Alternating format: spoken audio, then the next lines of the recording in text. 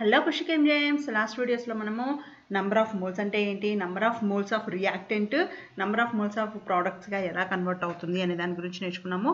ఈ రోజు వీడియోలో మనం ఏం నేర్చుకోబోతున్నామంటే లిమిటింగ్ రియేజెంట్ అంటే ఏంటి? ఈ లిమిటింగ్ రియేజెంట్ తెలుసుకోవడం వల్ల యూజెస్ ఏంటి అనేది నేర్చుకుందాం ఈరోజు సో ఇందుకు లిమిటింగ్ రియేజెంట్ అంటే ఏంటి? అంటే the reactant which will get completely consumed in a reaction ఒక రియాక్షన్ జరుగుతూ ఉన్నప్పుడు ఆ రియాక్షన్ లోపల ఏ రియే ఏ రియేజెంట్ అయితే కంప్లీట్గా అయిపోతుందో కంప్లీట్గా కన్జ్యూమ్ అయిపోతుందో దాన్ని లిమిటింగ్ రియేజెంట్ అంటాము. అలాగే ఏ రియేజెంట్ అయితే రియాక్షన్ అయిపోయిన తర్వాత కూడా మిగిలి ఉంటుందో దాన్ని మనము ఎక్సెస్ రియేజెంట్ అంటాము. సో ఇది ఎలా ఉంటుంది ఎలా చెప్తామో ఈ కన్ఫ్యూజన్ కొంచెం ఇంకా క్లియర్గా అర్థం చేసుకోవాలి అంటే మనం ఒక ఎగ్జాంపుల్ తీసుకుని అర్థం చేసుకుందాము సో ఇక్కడ నేను ఏం తీసుకుంటున్నాను అంటే ఒక రియాక్షన్ తీసుకున్నాను in reaction A plus B two gives rise to AB two అనే ఒక మాలిక్యూల్ అనేది ఫామ్ అవుతుంది. ఏ అనేది తీసుకున్నాము బీ టూ అనే దాంతో రియాక్ట్ అయింది ఏబీ టూ అనే మాలిక్యూల్ ఫామ్ అవుతుంది. అంటే ఏం తీసుకున్నాము? ఏ ఒక మోల్ ప్లస్ బీ టూ అనే మాలిక్యూల్ ఒక మోల్ ఏ అనేది యాటము బీ టూ అనేది మాలిక్యూల్ తెలుసు కదా మనకి యాటమ్కి మాలిక్యూల్కి ఉన్న డిఫరెన్స్ ఇవి రెండు కన్జ్యూమ్ అయితే మనకి ఒక molecule of A B two అనేది ప్రొడ్యూస్ అవుతుంది. రైట్ వెరీ గుడ్ సో తర్వాత identify the limiting reagent in this reaction ఈ రియాక్షన్లో మనకి లిమిటింగ్ రియేజెంట్ ఏది? తీసుకోమన్నాడు ఐడెంటిఫై చేయమన్నాడు. అయితే మనకి ఇచ్చిన డేటా ఏంటి అంటే three hundred atoms of A తీసుకున్నాడు four hundred molecules of B తీసుకున్నాడు.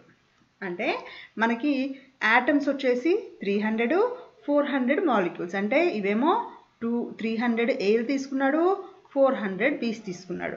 తీసుకుంటే ఇవి ఎన్ని వస్తాయి అండ్ ఈ రెండిట్లో ఏది ముందు కంప్లీట్గా కన్జ్యూమ్ అయిపోతుంది రియాక్షన్లో అని అడుగుతున్నాడు. రైట్?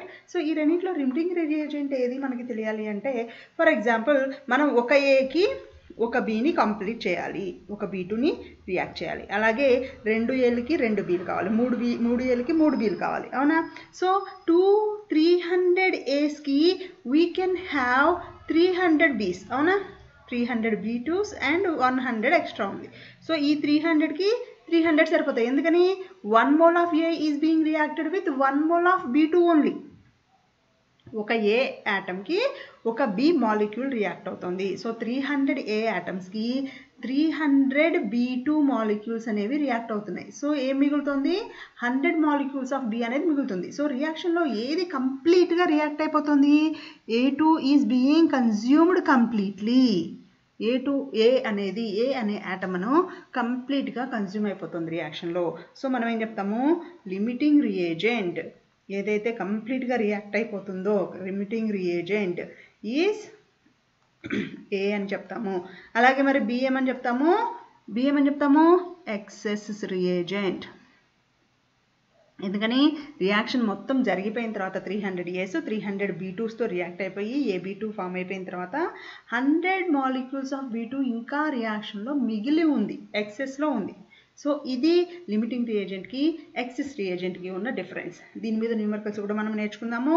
ఈ వీడియో కనుక మీకు నచ్చితే లైక్ చేయండి షేర్ చేయండి మన ఛానల్ని సబ్స్క్రైబ్ చేసుకోండి. See you with another video bye